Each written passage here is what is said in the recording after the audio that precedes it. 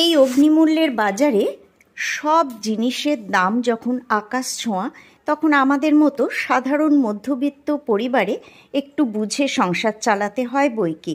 তাই জন্য আমরা চেষ্টা করব মোটামুটি সব কিছুই যাতে যেগুলো খাওয়ার যোগ্য, সেগুলোকে আরেকটু সুস্বাদু করে রোজকার পাতে আনার জন্য। নমস্কার বন্ধুরা, আমি পুপু আর পুপুর রান্নাঘরে তোমাদের সবাইকে স্বাগত। আজকের এই ভিডিওটা প্রথম থেকে শেষ অবধি দেখার জন্য অনুরোধ করছি। আজকে আমি করব কাঁচকলার খোসা বাটা। এটা বহু পুরনো একটা রেসিপি তবে আমি এটা একটু অন্যভাবে করছি, সেই জন্য শেষ অবধি দেখার জন্য অনুরোধ রইল।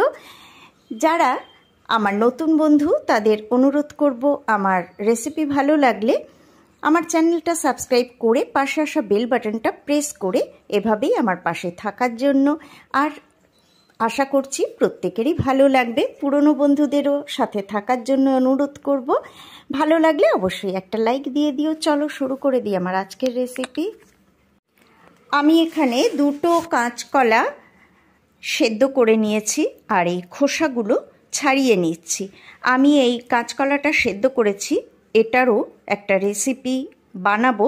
তবে এই রেসিপিটা তোমরা আরও দুদিন বাদে পেয়ে যাবে।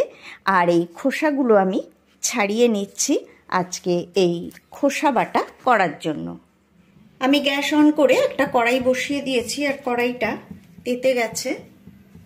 এখন আমি এর মধ্যে একটা শুকনো লঙ্কা একটু এইভাবে ফাটিয়ে দিয়ে দিলাম। লঙ্কাটাকে একটুখানি ভেজে নেব শুকনো খোলায়। লঙ্কাটা ভাজা হয়ে গেছে, এখন আমি এর মধ্যে এক চা চামচ দিয়ে দিলাম কালো জিরে। আর ফ্লেমটা কিন্তু লো রেখেছি, লো করেই ভাজছি। কালো জিরেটাকেও আমি এইভাবে শুকনো খোলায় ভেজে নেব। একভাবে নাড়াচাড়া করে সামান্য একটু কয়েক সেকেন্ড নাড়াচাড়া করলেই কিন্তু কালো জিরেটা ভাজা হয়ে যাবে। কালো জিরেটাও ভাজা হয়ে গেছে, একটা গন্ধ বেরোতে শুরু করেছে। এখন আমি গ্যাসটা অফ করে দেব। সরি, লঙ্কার ঝাঁঝটা গেছে গলায়। তো এটাকে অফ করে দিয়ে আমি তাড়াতাড়ি নামিয়ে নেব, নইলে কিন্তু কালো জিরেটা পুড়ে যাবে।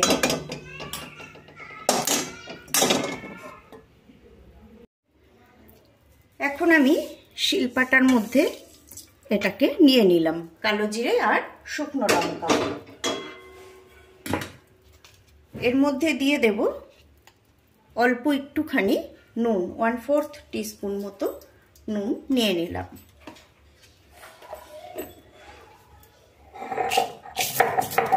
এটাকে আগে একটু আমি মিহি করে বেটে নেব।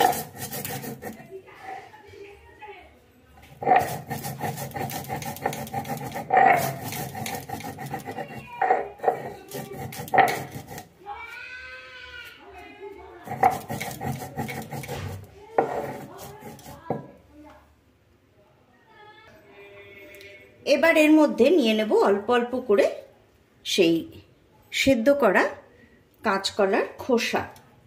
আর একটুখানি নোড়া দিয়ে এভাবে থেঁতো করে নেব। তাহলে বাটতে আমার সুবিধা হবে।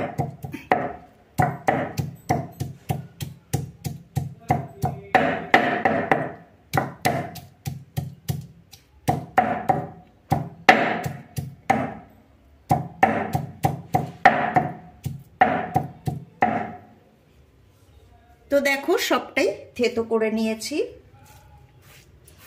আর এটাকে এবার আমি শিলনোড়াতে বেটে নেব। এটা কিন্তু শিলনোড়াতেই বাটতে হবে, তাহলেই কিন্তু এটা ভালো বাটা হবে।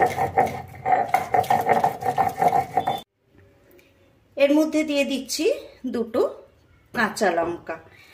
ঝালটা অবশ্যই যে যার পছন্দ মতো দেবে, কম বা বেশি। আমাদের ঘরে কেউ বেশি ঝাল খেতে পারে না, তাই ঝালটা আমি কম ইউজ করছি।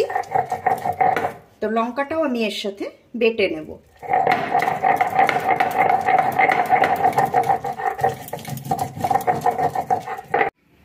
পুরো কলার খোসাটা বাটা হয়ে গেছে। এখন আমি গ্যাসে কড়াই বসিয়ে, কড়াইয়ে দিয়ে দিলাম অল্প একটু তেল।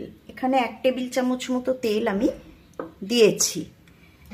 তেলটা গরম হওয়ার জন্য একটু অপেক্ষা করব। তেলটা গরম হয়ে গেছে, এখন আমি এর মধ্যে বেটে রাখা কলার খোসাটা দিয়ে দেব।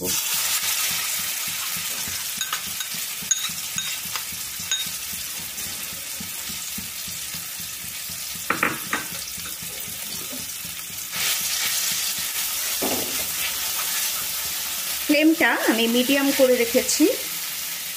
এখন আমি এর মধ্যে দেব স্বাদ মতো নুন। নুন কিন্তু অল্প একটু দিয়েছিলাম মশলাটা বাটার সময়। তার জন্য খুব বেশি দেব না, পরিমাণটা বুঝে দেব। দিয়ে দেব ওয়ান ফোর্থ টিস্পুন হলুদ গুঁড়ো।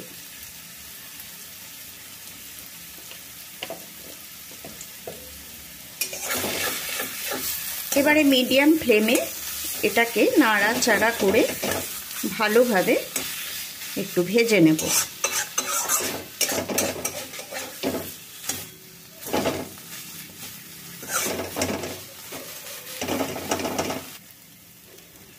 এটা প্রায় হয়ে এসছে, আর এই সময় কিন্তু আমি এর মধ্যে দিয়ে দেব হাফ চা চামচ থেঁতো করা রসুন। এখানে পাঁচ ছয় কোয়া রসুন আছে। তোমরা এখন ভাবতেই পারো রসুনটা এই সময় কেন? রসুনটা তো বাটার সময়ই দেওয়া যায়। হ্যাঁ তোমরা সেটাও করতে পারো। বাটার মধ্যে যখন বাটা হবে, তখনও তোমরা এর সাথে বেটে দিতে পারো। তো আমি ওইভাবেও করি।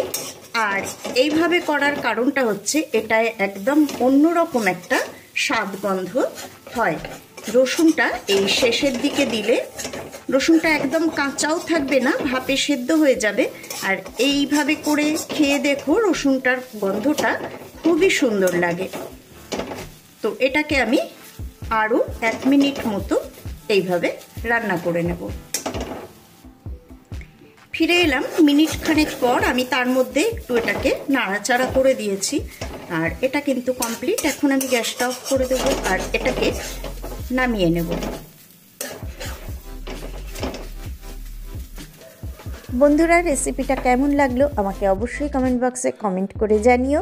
আজকে এই পর্যন্তই বিদায় নিচ্ছি। আবারও ফিরে আসব পরের পর্বে এরকমই সুন্দর কোনো রেসিপি নিয়ে।